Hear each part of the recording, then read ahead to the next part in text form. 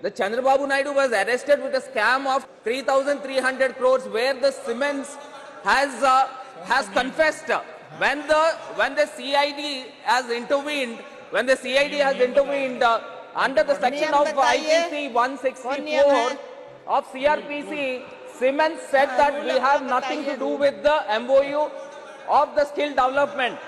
And now, and now I wanted to mention here, sir, mention here, ma'am, the Mr. Naidu has arrested under the relevant sections of crimin- criminal Shri conspiracy, cheating and dishonesty, forgery. In addition to that, Arvind CID has in- invoked the Prevention of Corruption Act. And these all things are, had happened, ma'am.